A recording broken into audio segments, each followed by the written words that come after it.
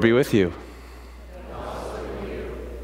Thank you very much, and welcome to Calvin Church this evening. We're all here because God has brought us here, brought us here to worship Him, and brought us here to acknowledge a bit of our creatureliness, uh, and even more to acknowledge um, God's creatorness. So, as we come to worship God this evening, will you pray with me, please?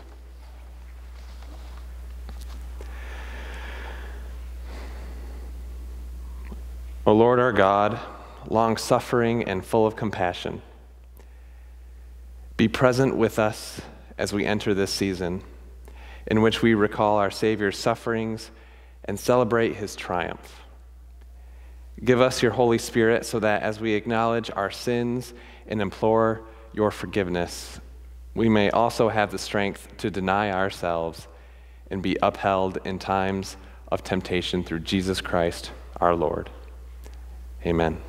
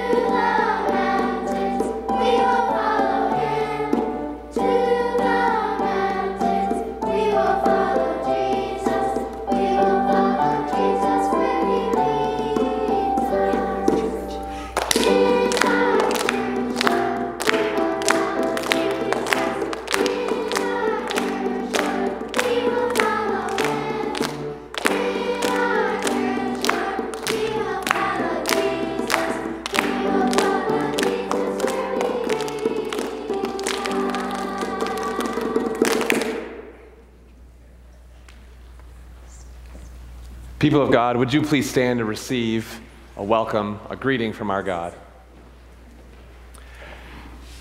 Grace and peace to you from God our Father, from Jesus Christ, his Son, and from the Holy Spirit, that same Spirit that makes us one, one with God and one as the people of God.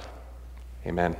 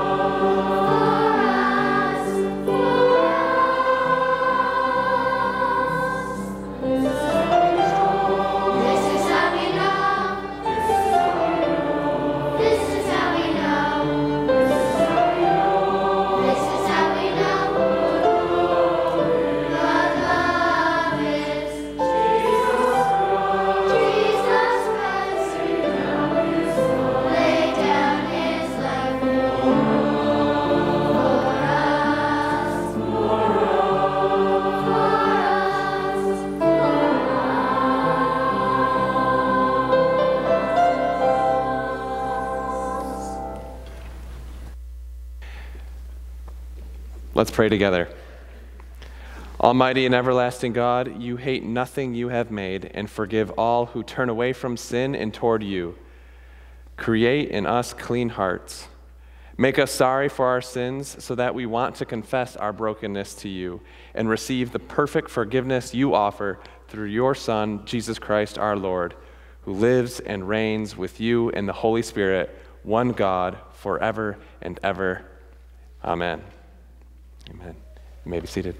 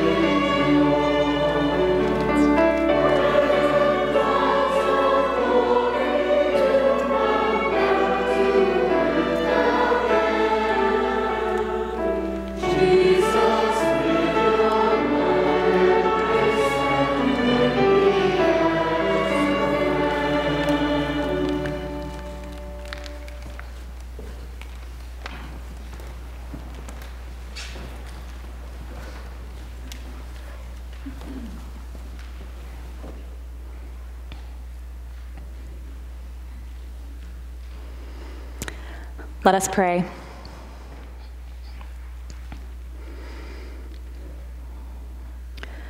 Through God's word, O Holy Spirit, bring us closer to our Savior. And in response, triune God, prompt our hearts to offer you sincere thanks for our salvation. In the strong name of Jesus, our Lord.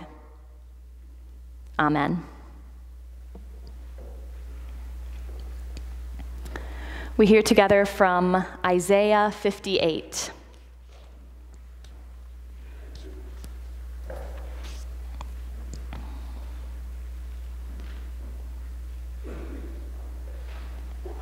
Isaiah 58. Shout out, do not hold back. Lift up your voice like a trumpet. Announce to my people their rebellion to the house of Jacob their sins. Yet day after day they seek me and delight to know my ways, as if they were a nation that practiced righteousness and did not forsake the ordinance of their God. They ask of me righteous judgments. They delight to draw near to God. Why do we fast, but you do not see? Why humble ourselves, but you do not notice? Look, you serve your own interest on your fast day and oppress all your workers. Look, you fast only to quarrel and to fight and to strike with a wicked fist. Such fasting as you do today will not make your voice heard on high. Is such the fast that I choose, a day to humble oneself? Is it to bow down the head like a bulrush and to lie in sackcloth and ashes? Will you call this a fast, a day acceptable to the Lord? Is not this the fast that I choose? To loose the bonds of injustice, to undo the thongs of the yoke, to let the oppressed go free, and to break every yoke? Is it not to share your bread with the hungry and bring the homeless poor into your house? When you see the naked, to cover them and not to hide yourself from your own kin. Then your light shall break forth like the dawn, and your healing shall spring up quickly. Your vindicator shall go before you, the glory of the Lord shall be your rear guard. Then you shall call and the Lord will answer. You shall cry for help, and he will say, Here I am. If you remove the yoke from among you, the pointing of the finger, the speaking of evil, if you offer your food to the hungry and satisfy the needs of the afflicted, then your light shall rise in the darkness and your gloom be like the noonday. The Lord will guide you continually and satisfy your needs in parched places and make your bones strong. And you shall be like a watered garden, like a spring of water whose waters never fail. Your ancient ruins shall be rebuilt. You shall raise up the foundations of many generations. You shall be called the repairer of the breach, the restorer of streets to live in.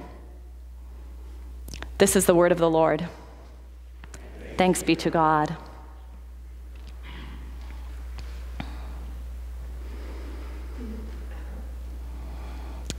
Today begins the church's journey through the season of Lent. Isaiah 58 is a good text for us to hear as we begin Lent. Part of the reason it's good for us to hear is because Many Christians take up a discipline during the season of Lent, like fasting from something or adding some spiritual practice to their life. Isaiah 58 gives us a good reminder. Make sure you're not doing these spiritual practices in a hypocritical way. Make sure you're living a well rounded Christian life, one that includes Lenten disciplines and includes a broader seeking after justice in the kingdom of God. A life that includes both prayer and action, both words and deeds. Don't just talk about your faith, says Isaiah 58, live it out.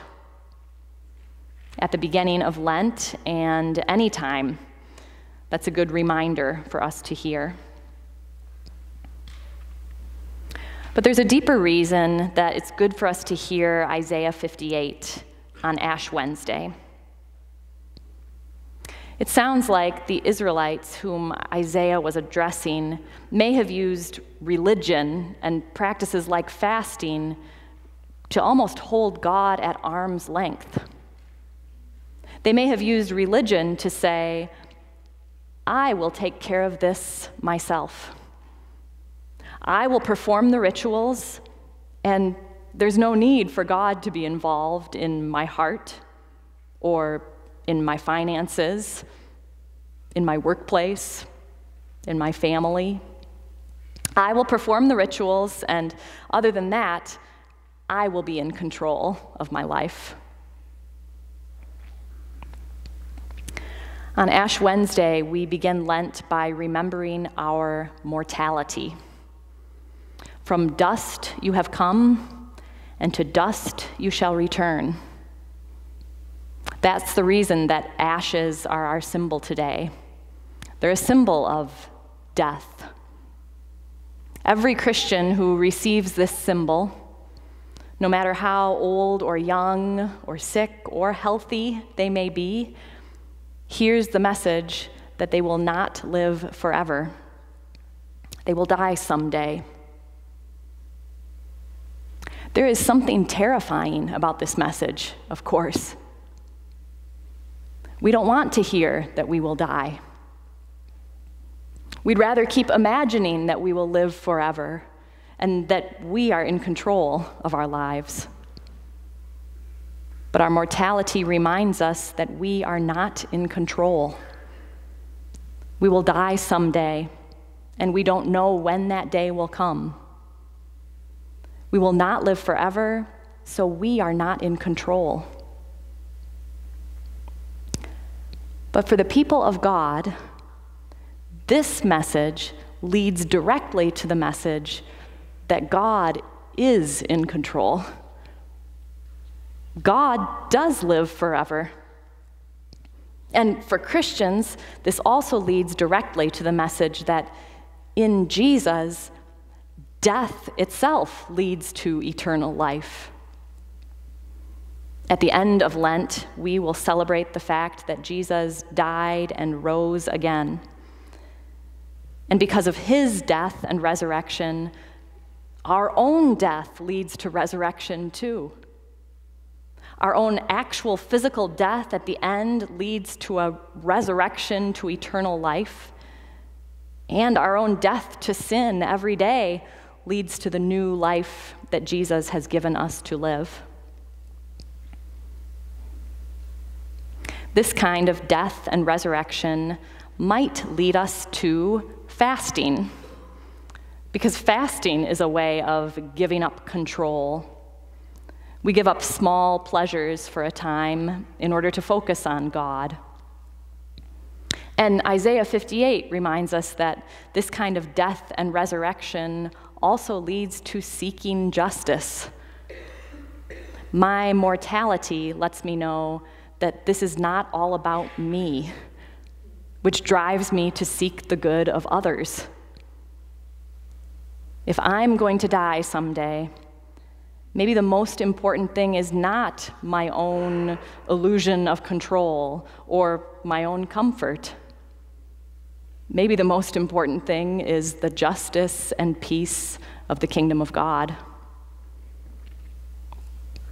Isaiah tells us that this justice and peace of the kingdom of God is a beautiful thing indeed.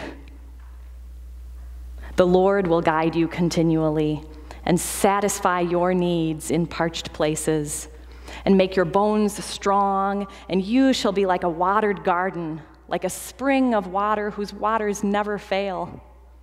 Your ancient ruins shall be rebuilt. You shall raise up the foundations of many generations. You shall be called the repairer of the breach, the restorer of streets to live in.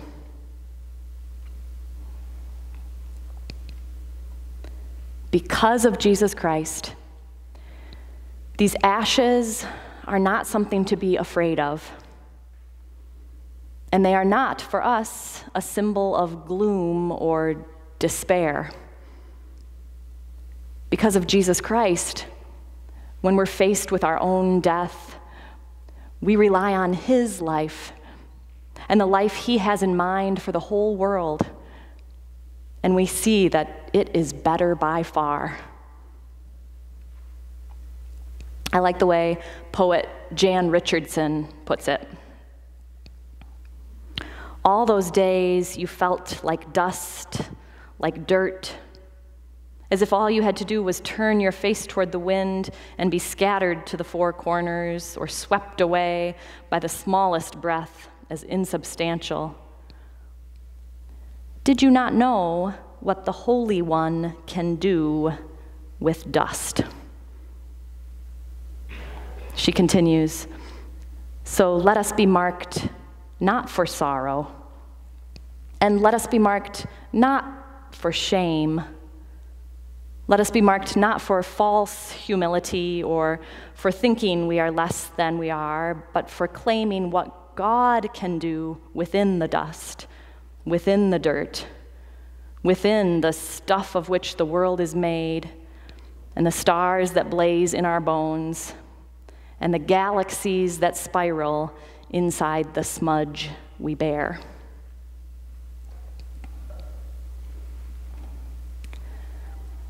I'm so glad that our children's choirs lead us in worship on this day, mostly because they're very good at it,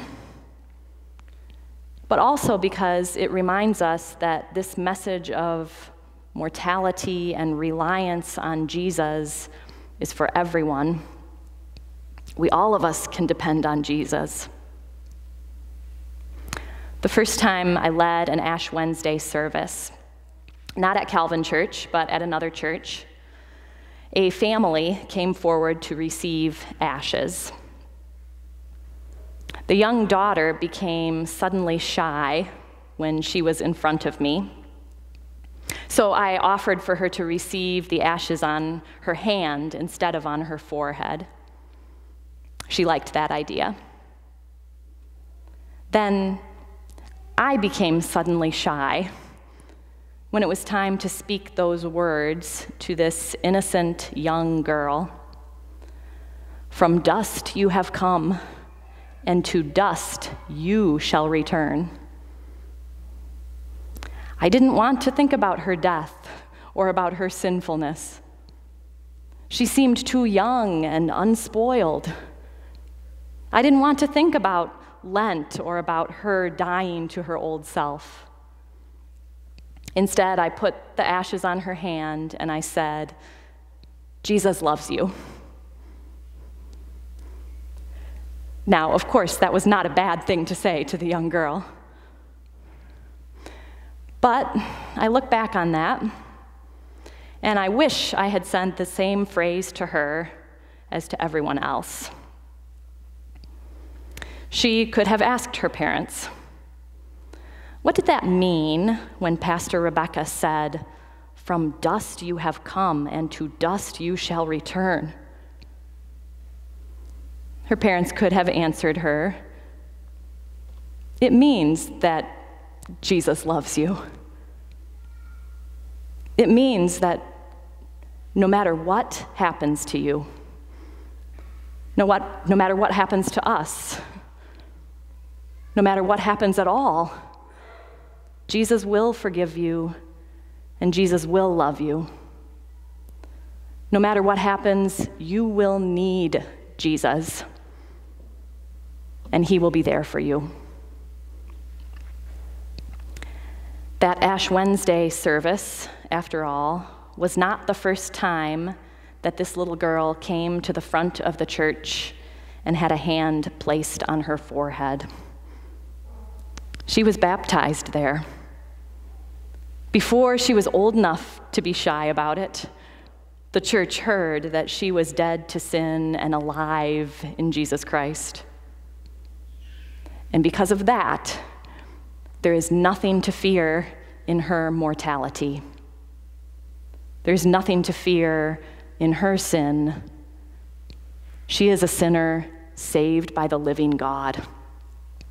She will surely encounter sin and death in her life, and she will even more surely encounter the forgiveness and loving power of God. In the name of the Father, and the Son, and the Holy Spirit.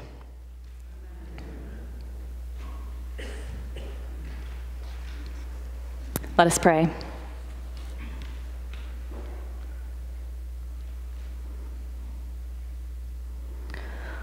Lord, we confess our desire to control ourselves and our world. And we come before our mortality and realize that you alone are in control. You alone live forever. And so we thank you for your great promise in Jesus Christ that we die and live with him. Lord, prepare us to follow you. In Jesus' name we pray. Amen.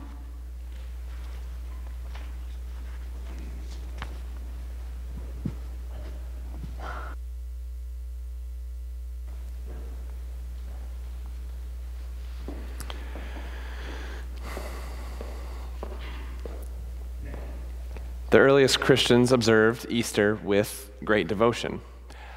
It became a custom to prepare for Easter with a season of penitence and fasting. Penitence means being sorry for things you've done that were wrong. Fasting means giving up good things for a short season in order to focus more on God. It was also a time when people were preparing for holy baptism. This t- in this time of preparation was called Lent. Lent is what we are beginning tonight. I invite you, therefore, to the observance of a holy Lent by taking the time to say you are sorry to God for things that you have done that are wrong, by spending time in prayer and in reading the Bible. We will begin Lent tonight by repenting and telling God we are sorry. And then we will also receive a sign of ashes to remind us we will all die one day and that our lives are a gift from God. Let us now confess our sin before the Lord. Most holy and merciful Father, we confess to you and to one another that we have sinned against you in what we have thought, in what we have said, and in what we have done. And it is our own fault. We have not loved you with our whole heart. We have not loved those near to us.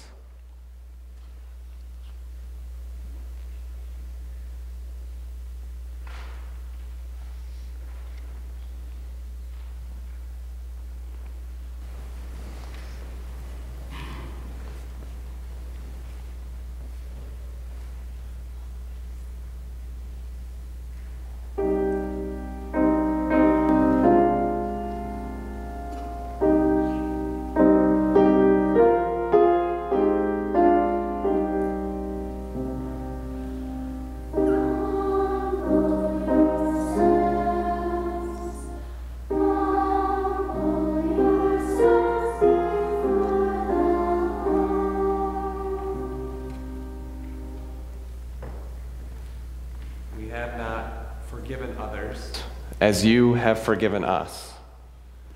We hold grudges against other people.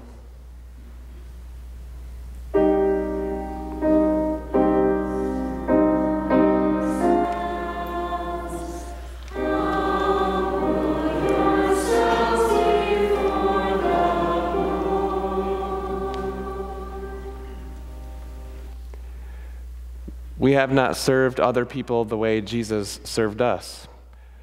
We ignore those in need, those around the world who are hungry, and those who suffer. Humble yourselves. Humble yourselves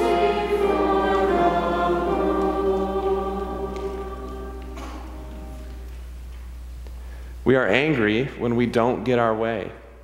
We are not happy with what we have and we want what other people have. We are greedy.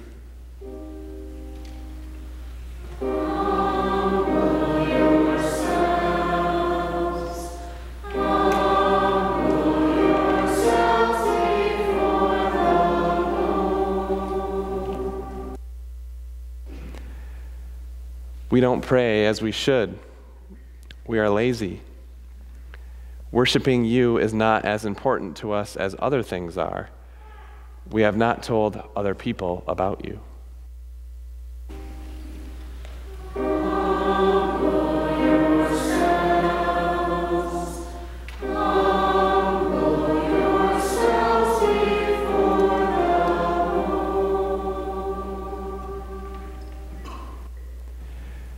Restore us, good Lord, and do not be angry with us.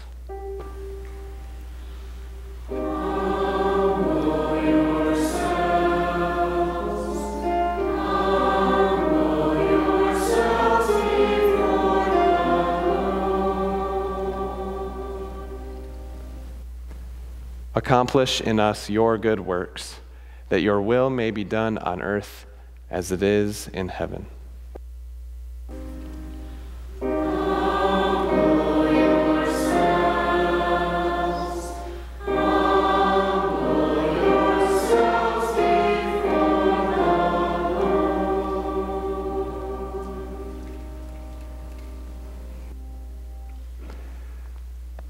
Friends, God so loved the world that he gave his only Son, so that everyone who believes in him may not perish, but may have eternal life.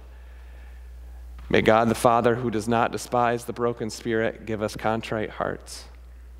May Christ, who bore our sins in his body on the tree, heal us by his wounds. And may the Holy Spirit, who leads us into all truth, speak words of pardon and peace.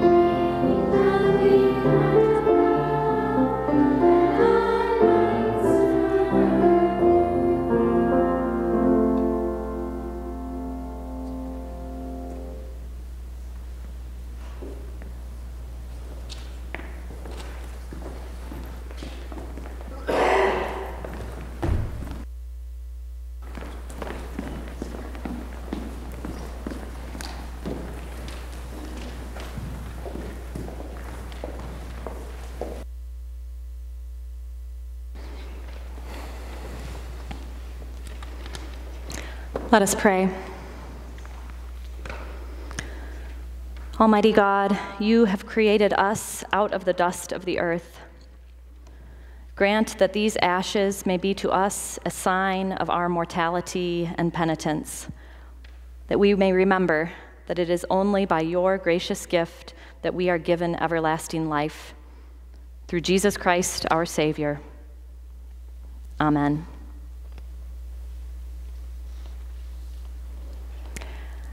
I invite you to come forward to receive the sign of ashes. You may come forward up the center aisle and return to your seats by the side aisles.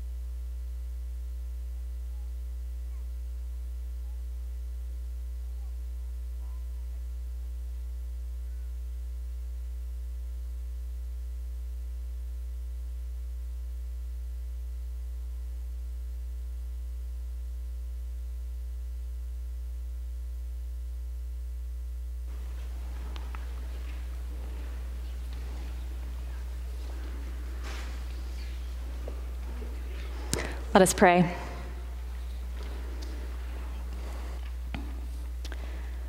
Jesus Christ, we want always to remember that you love us, died for us, and rose from the dead for us.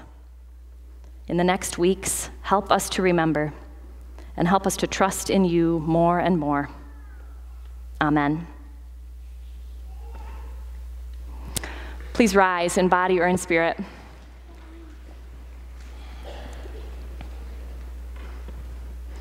God sends us from this place with a blessing.